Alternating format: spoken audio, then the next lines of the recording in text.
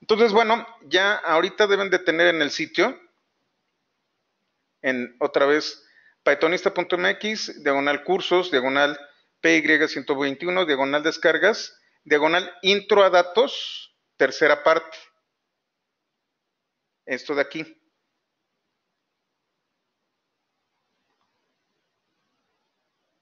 Ustedes van a descargar, son tres archivos IPNYB.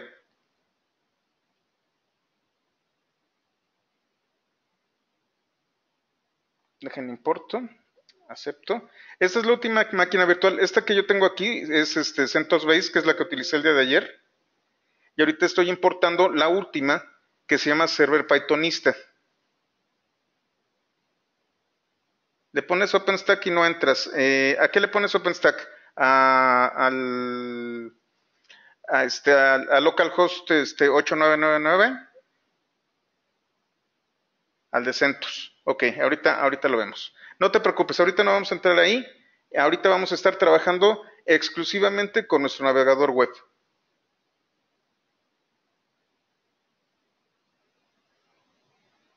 ¿Y cuál pusiste?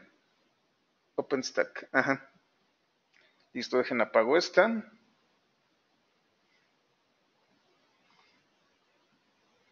inicio esta. Con server Pythonista no tienen que hacer absolutamente nada, ya está configurada para que en localhost 8999 funcione. Traté de, hacerla lo más delgadita posible, pero me fue, me fue difícil, entonces se quedó otra vez de un giga. Eh, pero ya tenemos las bases de datos instaladas, lo cual, lo cual ya es una gran ventaja. El root de CentOS es eh, OpenStack eh, y luego CDMX. No, no, no, nada más OpenStack, si ustedes quieren entrar al root de CentOS. Ah, exactamente, Mario.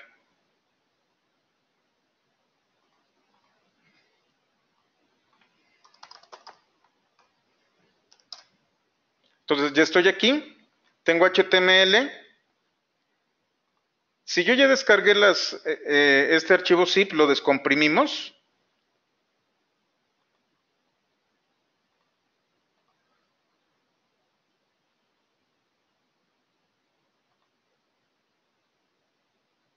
Que no lo he descargado, lo voy a descargar en mi escritorio.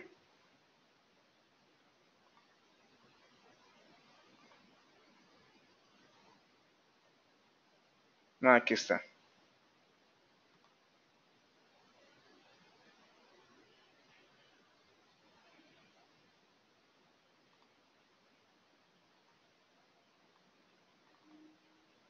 Son estos tres archivitos.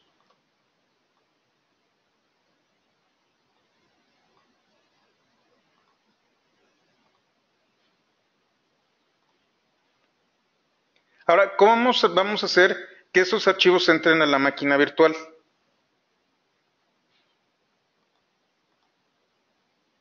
Por ejemplo, yo lo coloqué dentro de mi escritorio y está intro a datos y tengo estos tres archivos. Si yo estoy en mi navegador, en el home, en localhost 2.8999, ¿todos están ahí? ¿No hay nadie que no esté en el navegador? ¿Hay alguien que todavía no llegue por ahí? Ok, perfecto. Entonces, bueno, lo que hacemos es upload y seleccionamos de uno en uno. Creo que podemos seleccionar los, los tres, déjenme ver. Ahí está. Upload, upload y upload. Y ya tenemos nuestros notebooks de, de, de Jupyter dentro de nuestro servidorcito virtual, dentro de nuestra máquina virtual. Ya todos están aquí.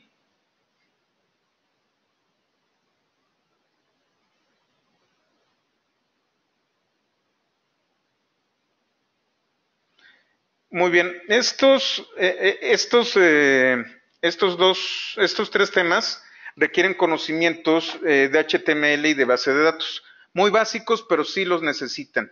¿Alguno de ustedes no está familiarizado con HTML o con DOM?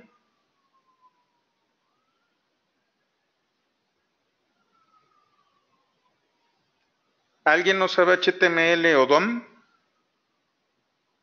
Ok, bueno, de todas formas vamos a repasar algunos, algunas de estas cosas. Vamos a acceso a recursos y HTML.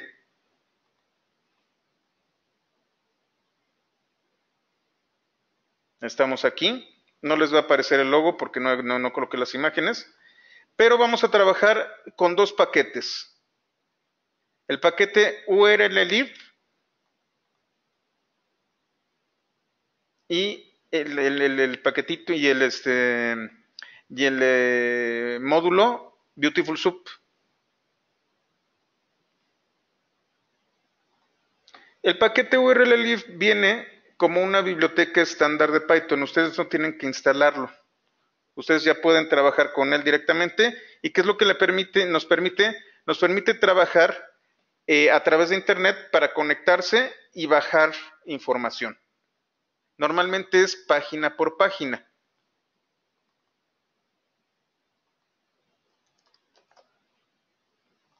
¿Y cómo lo hacemos? A través de URL request URL open. Entonces, importamos.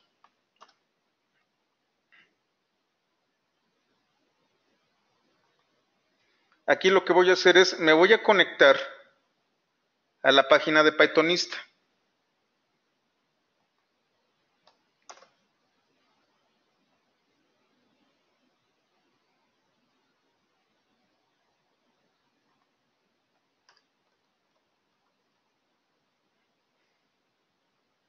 Dice que el módulo no, no, no tiene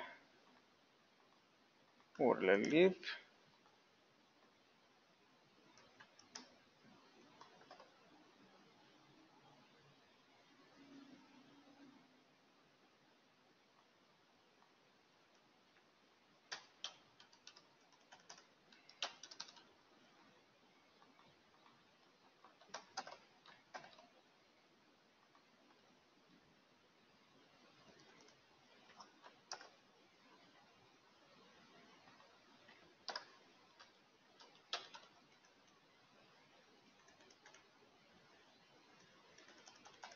A ver, déjenme ver qué fue lo que hice aquí.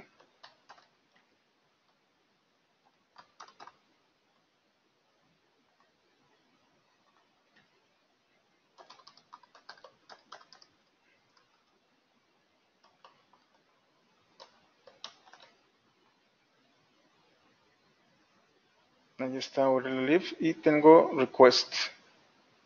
¿Qué es lo que pasa? ¿Por qué no me manda, por qué me manda un error?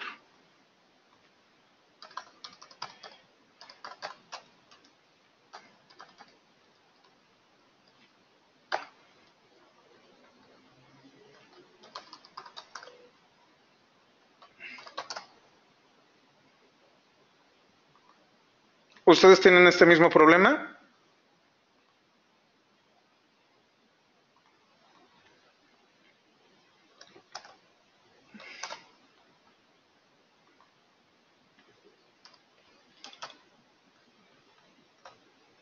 Bueno, voy a, voy a este, descargar así.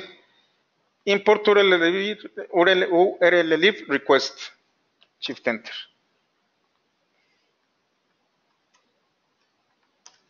Sí, es que es un paquete, no es un módulo. Ya lo importé. Y aquí lo tengo, ahora sí.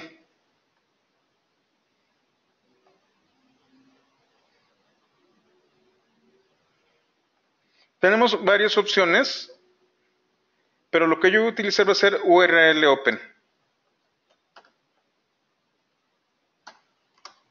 Entonces, bueno, el problema que yo tenía es, tuve que importar todo el módulo. Aquí estaba nada más importando el paquete.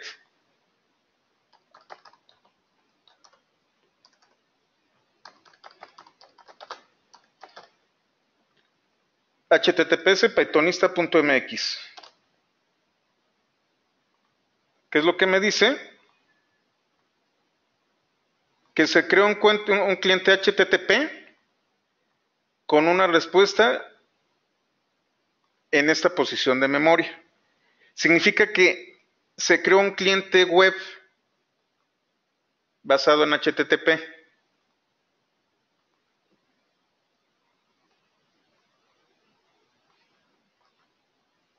Ahora lo que yo voy a hacer es darle un nombre para que el objeto persista.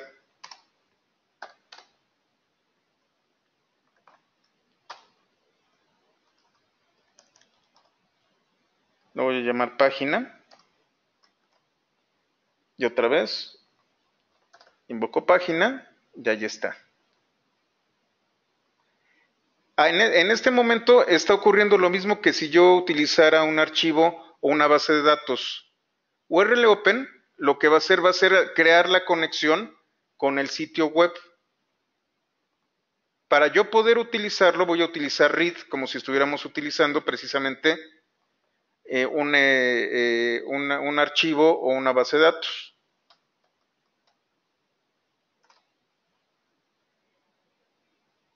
Esto es el código HTML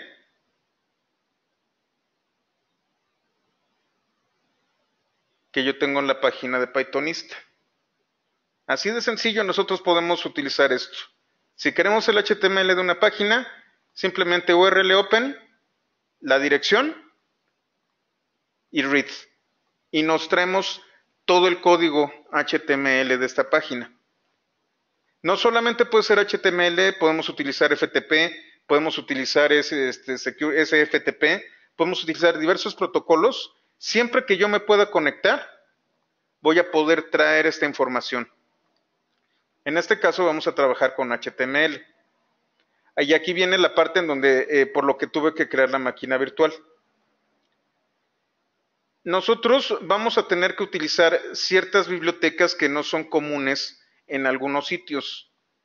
Una biblioteca para gestión de XML, eh, y este, la conexión con Python.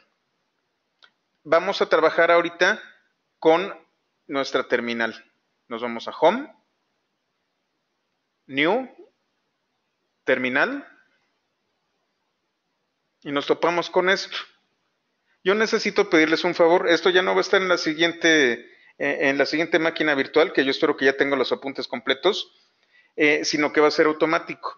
En este caso, yo tengo que darle permisos de superusuario a mi usuario hoy para poder hacer eh, algunas instalaciones. ¿Qué es lo que tengo que hacer? Fíjense bien. sudo bisudo. Esto de aquí, se los voy a colocar en el chat.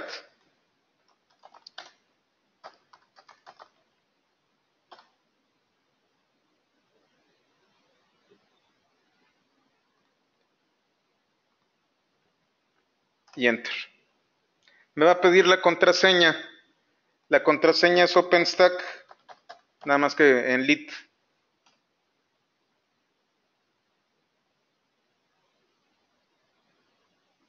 Perdón, este, tenía mal el chat. No estaba viendo todos los mensajes de chat. DOM no, HTML, ok, bueno. Aquí tienen ustedes sudo, bisudo y van a colocar esta contraseña.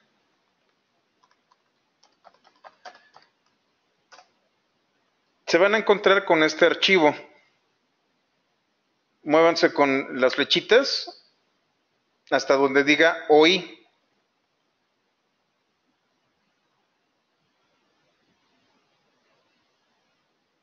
Y tiene que quedar así. Fíjense, voy aquí. Para poder editar dentro de VI, esto se llama VI, tienen que teclear I, la letra I, una sola vez. Y en la parte de abajo se va a colocar en modo de inserción.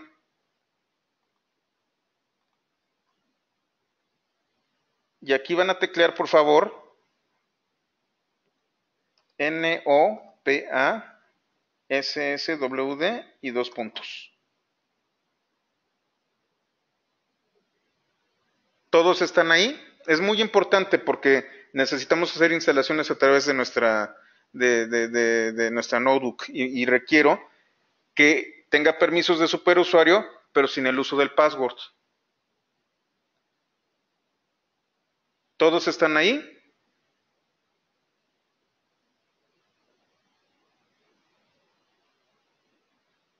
Perfecto. Ah, ¿cómo lo guardo? Bueno, nos salimos del modo de inserción con ESC.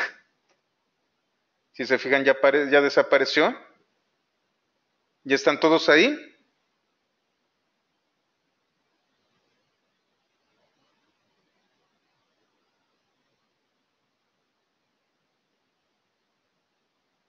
Muy bien, y vamos a teclear dos puntos, W y Q.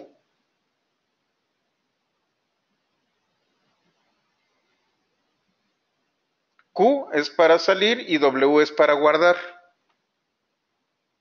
Dos puntos W, Q.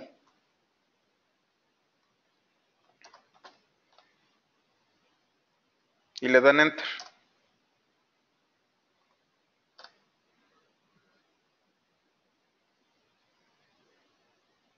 Y acaban de lograr algo que hacen los administradores expertos de Linux, que es utilizar VI sin perderse en el intento. ¿Alguien tuvo problemas con esto?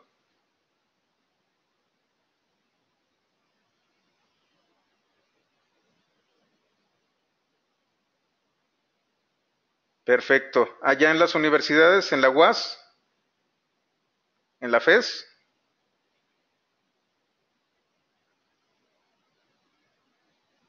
Ok, perfecto. Bueno, ya utilizamos la terminal, ya podemos decir que usamos Linux una vez en la vida. Y bueno, nos vamos a acceso a recursos. Yo tengo que instalar estas bibliotecas. Y además tengo que con pip instalar Beautiful Soup. Voy a hacerlo en dos pasos.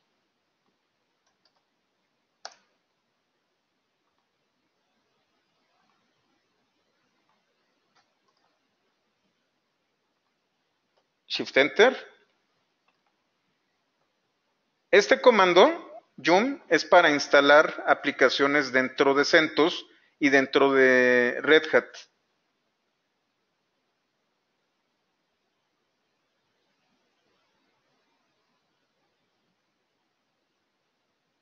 Lo que estoy haciendo aquí con este signito de admiración es decirle al notebook que va a ejecutar un comando de Linux, del shell.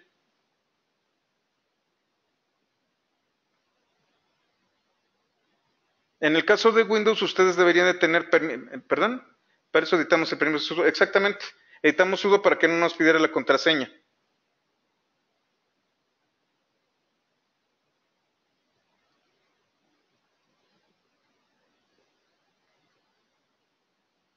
Y entonces, además de un curso de Python, están teniendo eh, su primer curso de cómo instalar paquetes en Linux y de cómo usar la terminal. ¿Qué fue lo que pasó? Se instalaron las bibliotecas que yo requería. En el caso de Windows es un poco más complicado. Para instalar estas bibliotecas, una de dos, las, que, las tienen que compilar a mano, si, si, instalaron Python normal, o pueden utilizar Conda con permisos de, de administrador, pero no lo van a creer. Hacer eso en Windows es más complicado que hacer esto en Linux. Por eso la máquina virtual.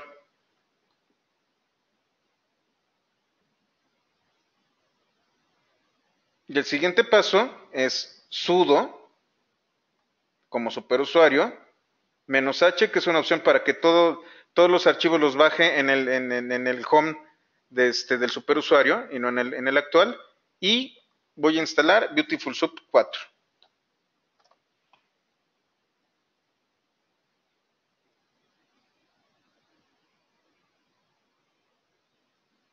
Así se instala Beautiful Soup. ¿Por qué era importante, que lo vieran? Porque Python lo que permite, lo que, nos permite hacer en muchos casos, es utilizar los recursos del sistema. No todo está escrito en Python, inclusive cuando nosotros veamos NumPy y SciPy, eh, vamos a ver que en Python existen inclusive dependencias con Fortran, con bibliotecas que están funcionando con Fortran. Y en particular,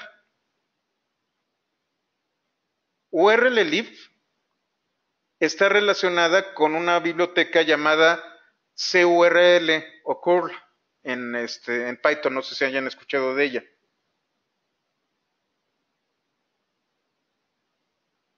Bueno. Esto que nos dice que bueno, Python sí viene con las baterías incluidas, pero podemos extender todavía esto y puede jugar y llevarse muy bien con los sistemas operativos. Ahorita lo que estoy haciendo es utilizar estas bibliotecas para gestión de XML y yo las puedo utilizar entonces para hacer un análisis, en este caso, de HTML. Pero Beautiful Soup puede utilizar tanto XML como HTML. Nosotros podemos también, eh, eh, le dicen parsear, eh, escudriñar es el, es el, este, más o menos el, la traducción al español, pero bueno, parsear suena un poquito mejor que escudriñar.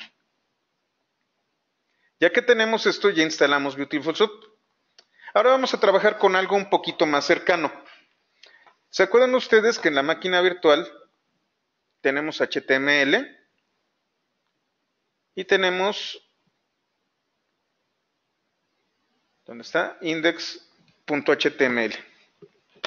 Parcelar, no, no me conocía ese término, puede ser. Aquí lo que nosotros tenemos es el código HTML de una paginita web que está dentro de nuestro servidor. Es un ejemplo muy sencillo que podemos utilizar inclusive si no hay conexión a red y tenemos la máquina virtual. Otra vez, si en lugar de edit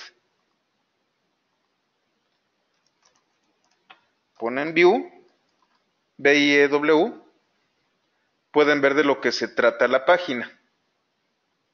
Está muy sencilla. Muy, muy sencilla.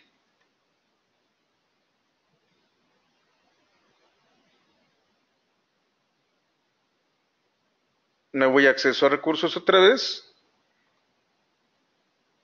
¿Y qué es lo que voy a hacer? Voy a abrir el index HTML. ¿Dónde estoy?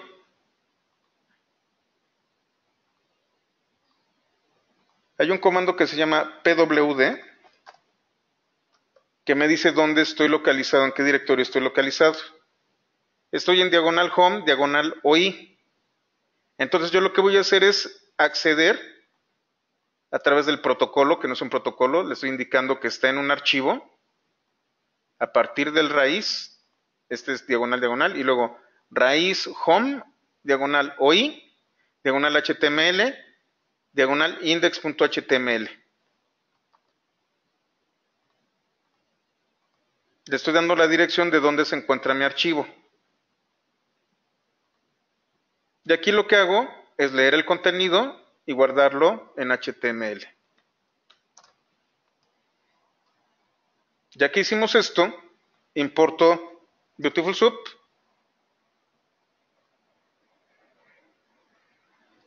y voy a crear un objeto que va a tener el nombre de sopa con el código HTML que yo acabo de traer de aquí y le estoy indicando a Beautiful Soup que voy a utilizar HTML.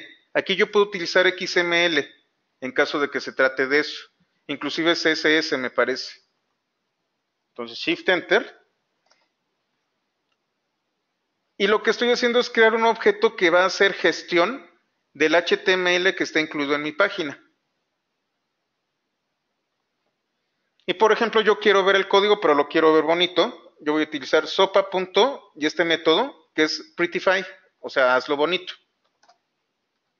¿Qué es hacerlo bonito? Que indenta.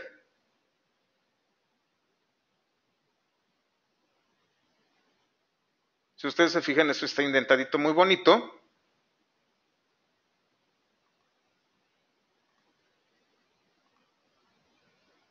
A diferencia de esto que está plano.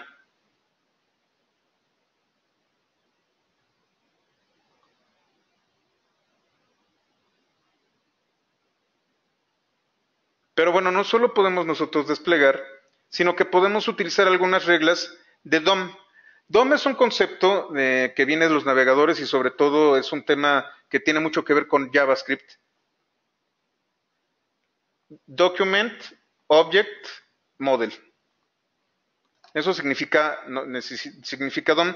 Es, el, es eh, el modelo de objeto de documento.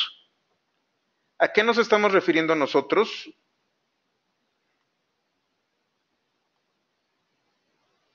Cuando yo ¿Qué fue lo que hice? Botón derecho, inspeccionar, control mayúscula I. En el caso de Firefox,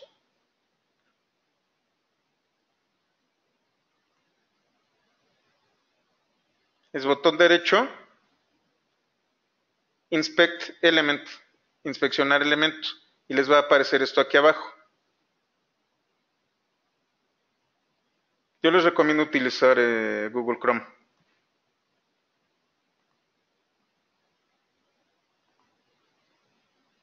Aquí yo estoy viendo el código que tengo de este lado.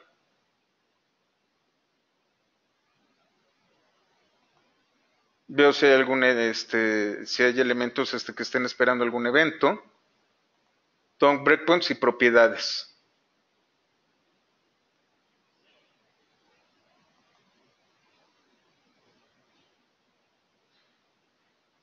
Lo que, de lo que está compuesta una página HTML, es de elementos. Los elementos van a contener, contener algunos otros y sobre esto nosotros podemos generar una jerarquía de árbol.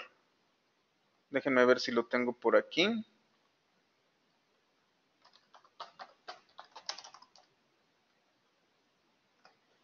De hecho, yo creo que ustedes sin costo, y este es totalmente sin costo, eh, estaba pensando en dar un curso sobre DOM y HTTP. No sería más que de dos sesiones, por eso, por eso es, eh, eh, barato y ustedes que ya pagaron este curso, creo que es justo pasárselo, en donde no voy a hablar de Python, sino que voy a hablar de las tecnologías que tienen que ver con HTML, con, con, HTTP y con DOM, porque es algo que necesitamos saber para hacer un web scrapping completo. Este es un curso introductorio. Vamos a ver apenas una rebanadita de lo que es esto. Pero necesitan ustedes conocer las jerarquías del objeto DOM.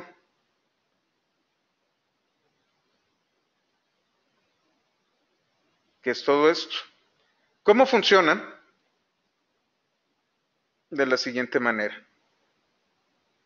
Dejen cerrar esto. Me voy aquí. Nosotros tenemos una estructura en donde tenemos un tag que es title, que es el título. ¿Dónde está? Está hasta arriba. Hay dos componentes principales de HTML. Head, que termina aquí, si yo voy a, eh, si yo voy a inspeccionar el elemento, voy aquí a index. Vamos a verlo en vivo. A ver si me lo permite. Ok. Yo tengo aquí HTML y si se fijan aquí dice head en la parte de arriba. Head si yo me muevo un poquito, se, colorean ciertas partes del documento. Cuando estoy en Head, no se colorea nada. ¿Por qué? Porque son los datos que están dentro del documento. Cada uno de, estas, eh, de estos textos se conocen como etiquetas o como tags. T-A-G-S.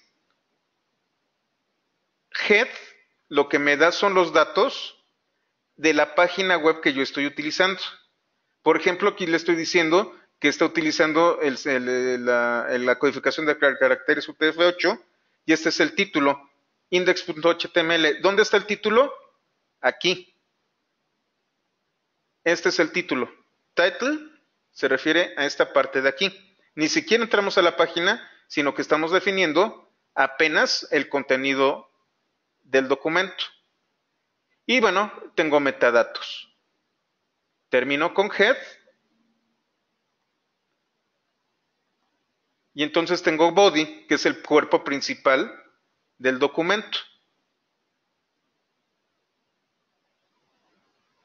Y por ejemplo, tengo aquí un elemento llamado header y uno que es footer, que está aquí abajo. Todos estos son tags que tienen también atributos y pueden contener texto. DOM lo que hace, lo que me permite, es acceder a cada uno de estos elementos, ya sea por su nombre o por su, identificador, y yo puedo conocerlos o modificarlos. Ahorita nada más vamos a, verlos, después los vamos a modificar en, eh, en los cursos avanzados.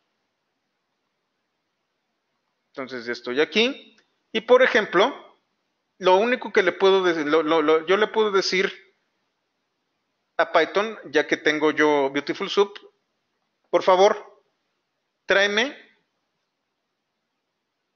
el elemento title. Y me lo trae.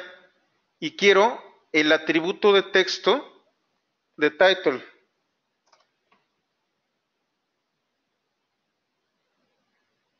Los tags tienen un contenido, que es este, y pueden tener atributos, lo vamos a ver un poquito más adelante. A lo mejor ustedes han escuchado de CSS, Cascade Style Sheeting, que no es otra cosa más que darle formato, un formato bonito, esto de aquí, colocarle el fondo y cosas por el estilo,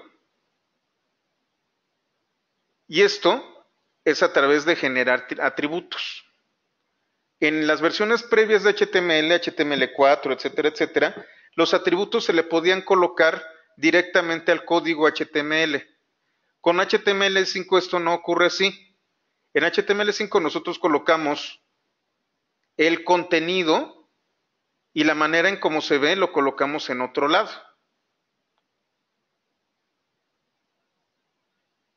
Esto que ven aquí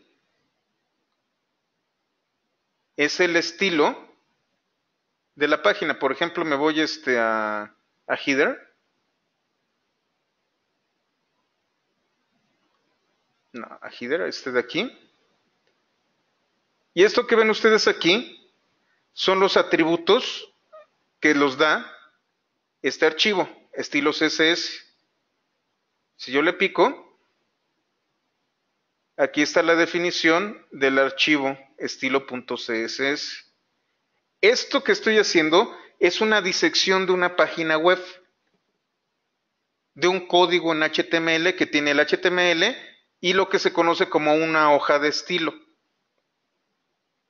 Y estos son atributos.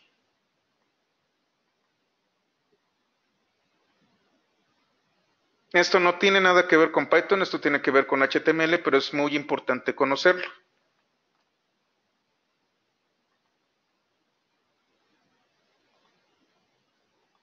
Por ejemplo, tengo footer. Y por ejemplo, aquí tengo pes.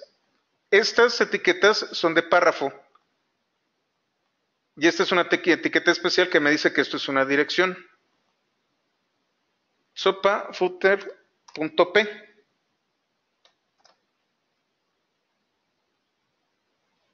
Lo que hice fue que del elemento footer me buscara el primer elemento P de párrafo.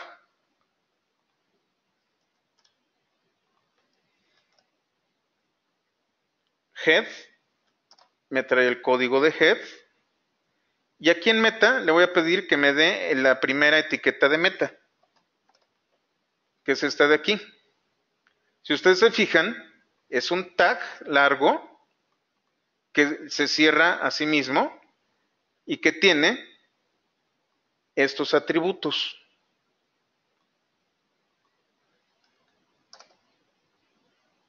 Cuando yo le digo sopa, o sea, mi página de head, tráeme el primer meta, y tráeme sus atributos, lo que me regresa es un diccionario con estos atributos, nada más que con un par clave valor.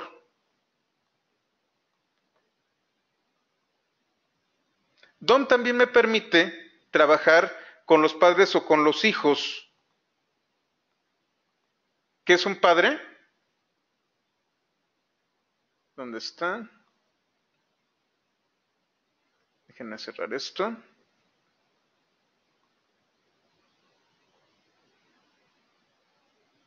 Ya lo hice feo. Bueno, déjenme, le cierro aquí.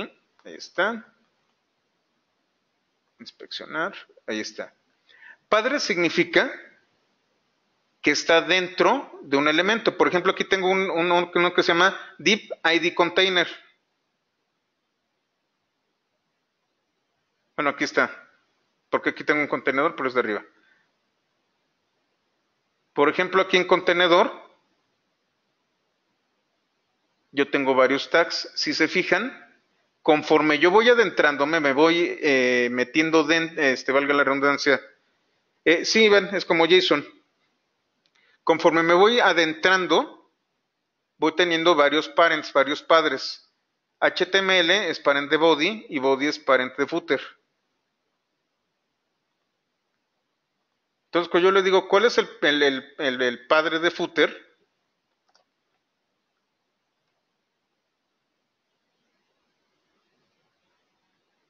Es esto. Es más, vamos a colocar este, ay, perdón, voy para abajo, aquí está. Pero yo también puedo colocarle, espero no regarla, parent, así tal cual, y metre body.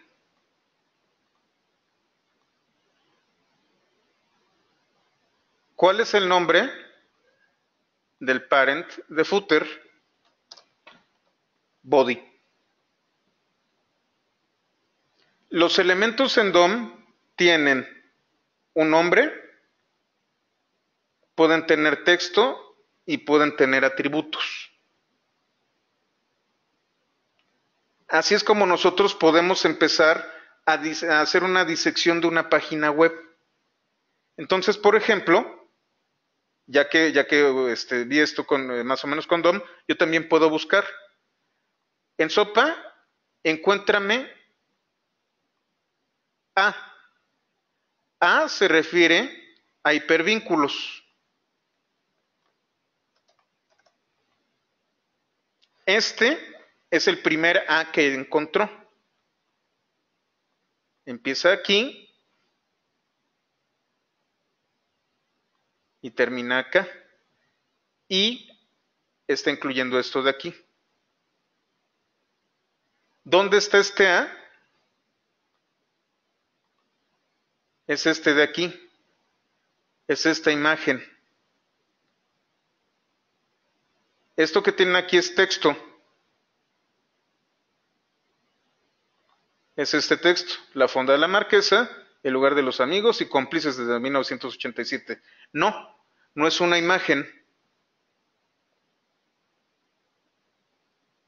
Esto de aquí, sí, hay una, una imagen de fondo, pero realmente lo que tenemos es texto con una hoja de estilo un poquito avanzada.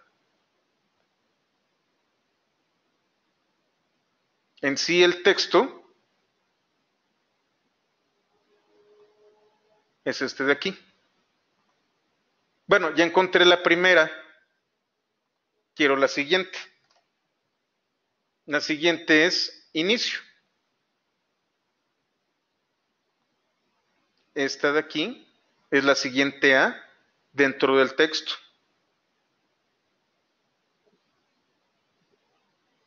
Bueno, pero irme de una en una es un poquito complicado. Quiero todas.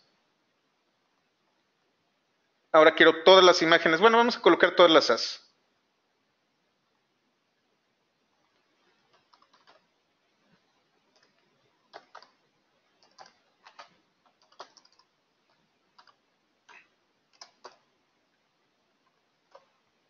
y me trae una lista de todas las As.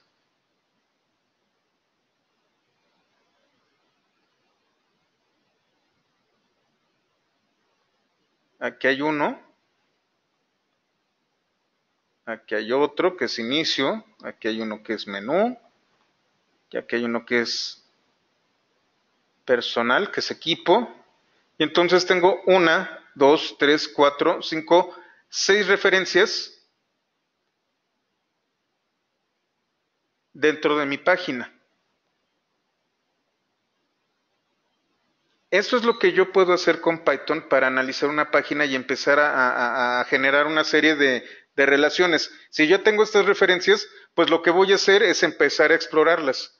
Si, por ejemplo, otra vez yo soy un investigador que quiere ver con este, justamente este tipo de cosas, eh, imagínense que es un partido político o que es un blog que, este, de, noticias científicas o cosas así. Yo quiero conocer todos los recursos que están publicados en ese blog y cuáles son las referencias. Tan solo con buscar las SAS, ya sé a dónde me está mandando a través de los hipervínculos. Y es tan sencillo como eso. Lo cargo con urllib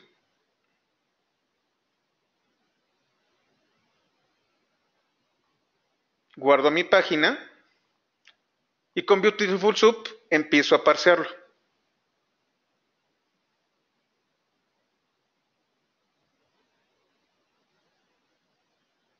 Y si nosotros conocemos un poquito de DOM, estamos más o menos familiarizados con esto que tengo aquí.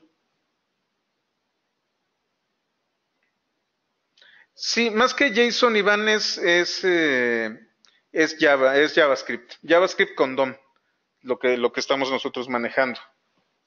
El DOM ya no se utiliza, bueno, sí se utiliza mucho, de hecho es parte básica de, de la programación, este, de, bueno, del desarrollo de páginas web, no es programación propiamente. Eh, y es como el navegador entiende la estructura del código HTML. Es por eso por lo que se lleva bien con JavaScript. JavaScript por defecto utiliza DOM.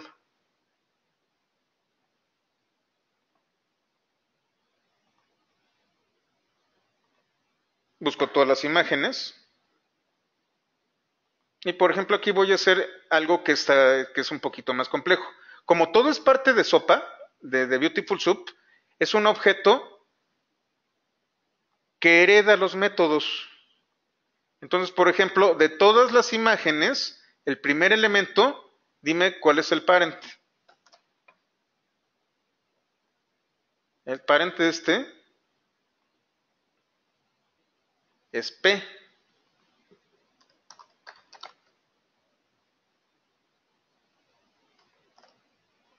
Y el parent de esta P, este div id contenedor.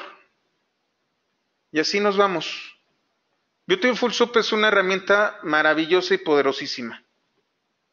Nosotros podemos hacer un análisis detalladísimo de las páginas web y poder sacar la información de aquí y guardarla en donde nosotros querramos. Por ejemplo, ahorita yo hay muchos divs, pero hay un div que es contenedor, que tiene identificador contenedor, ya lo vimos aquí. Entonces, de todos los div que yo tengo, búscame el que tiene el identificador contenedor. Y me lo trae. O por ejemplo de footer, dame el texto.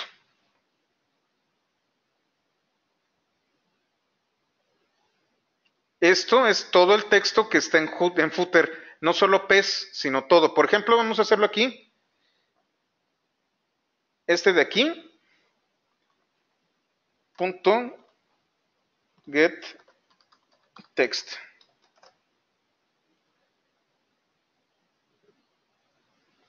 Y me trae todo el texto.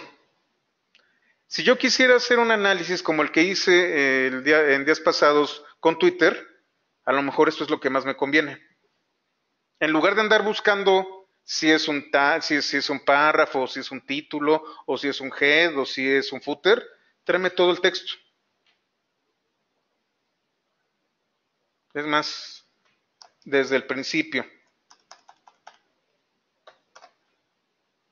Este es todo el texto que está dentro de mi página web.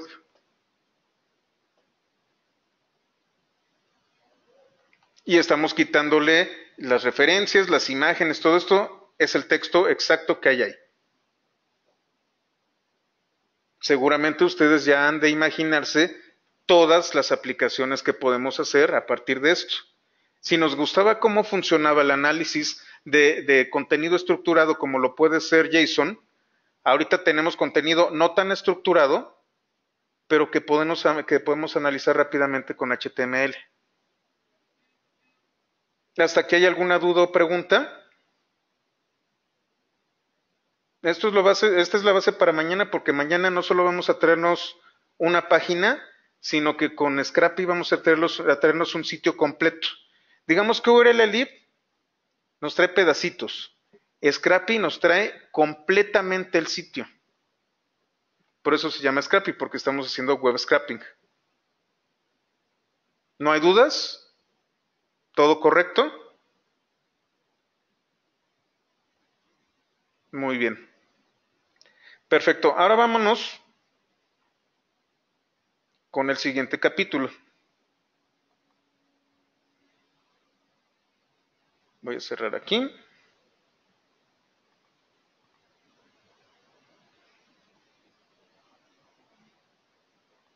Y el siguiente capítulo es muy sencillo, es muy simple. De hecho, esto también lo vamos a ver mañana de una manera más práctica. Ahorita nada más les voy a enseñar cómo nos conectamos y hacemos dos o tres cositas. Mañana vamos a trabajar muy bien con estos. ¿Cómo me conecto a MongoDB?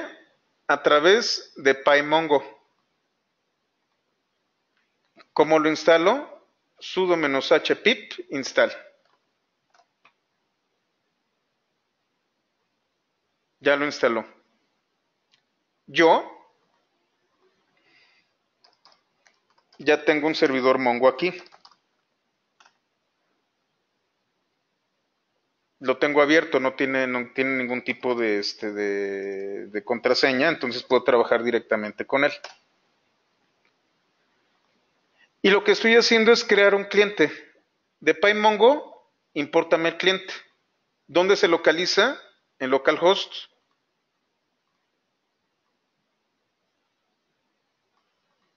Voy a conectarme a la base de administración y quiero conocer el estado del servidor. Y aquí voy a generar una lista con cada uno de los elementos del estado del servidor.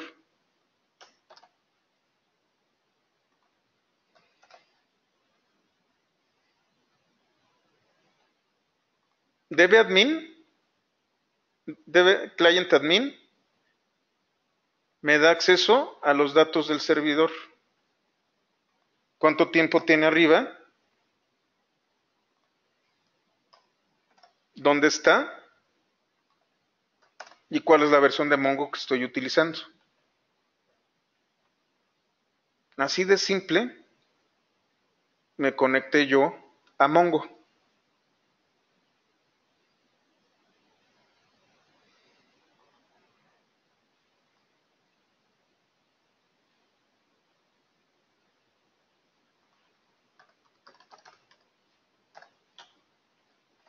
Siempre hay que cerrar. Ya cerré mi conexión con la base de datos. Así de simple. Mañana vamos a empezar a trabajar con esto ya, ya con una aplicación. No voy a trabajar tanto con, con SQL, Mongo es más sencillo y vamos a trabajar un poquito también con JSON. Lo que vamos a hacer mañana con SQL es crear unas tablitas y, este, eh, poblar una base de datos básica.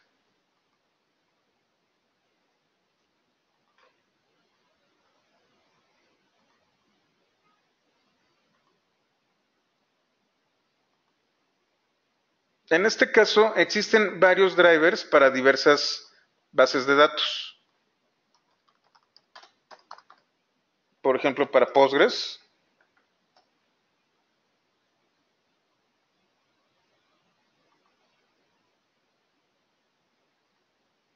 Este es el módulo.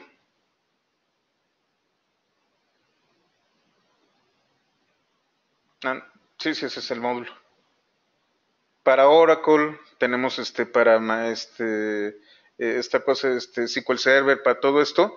Nosotros tenemos módulos para prácticamente cualquier base de datos. En este caso yo tengo instalado MySQL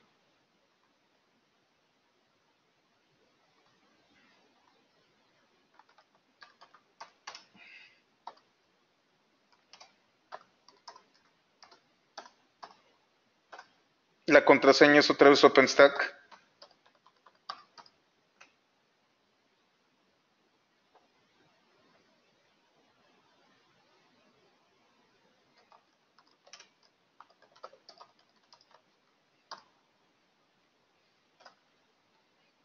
Si se fijan, aquí yo tengo cuatro bases de datos.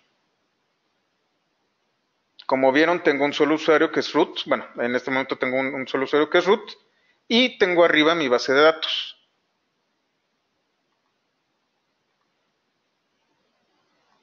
Este es el módulo para el uso de MySQL con Python. Lo importo.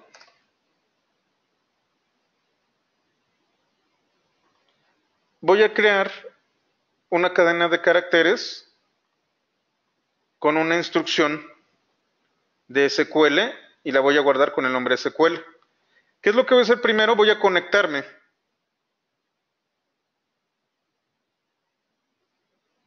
con mis credenciales. Shift Enter y Shift Enter. Ahorita ya estoy conectado. Y con conexión, cursor es lo que yo voy a utilizar para, para darle instrucciones a SQL voy a hacer que se ejecute este comando. Voy a cambiar el comando a show databases y me parece 5. Me dio el, el último dato. Lo veo yo aquí mejor. Show databases.